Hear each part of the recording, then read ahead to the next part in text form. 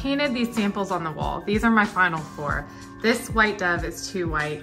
This is Revere Pewter, which is in the top two, creamy white and, um, oh gosh, now I can't think of it.